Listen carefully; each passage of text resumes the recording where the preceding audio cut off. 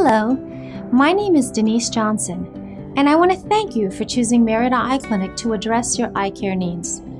I'm a board certified general ophthalmologist,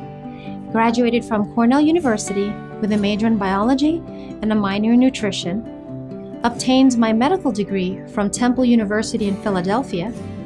completed an internship in internal medicine at the University of Miami, Jackson Memorial Hospital in Miami, started my ophthalmology residency in the University of South Florida in Tampa,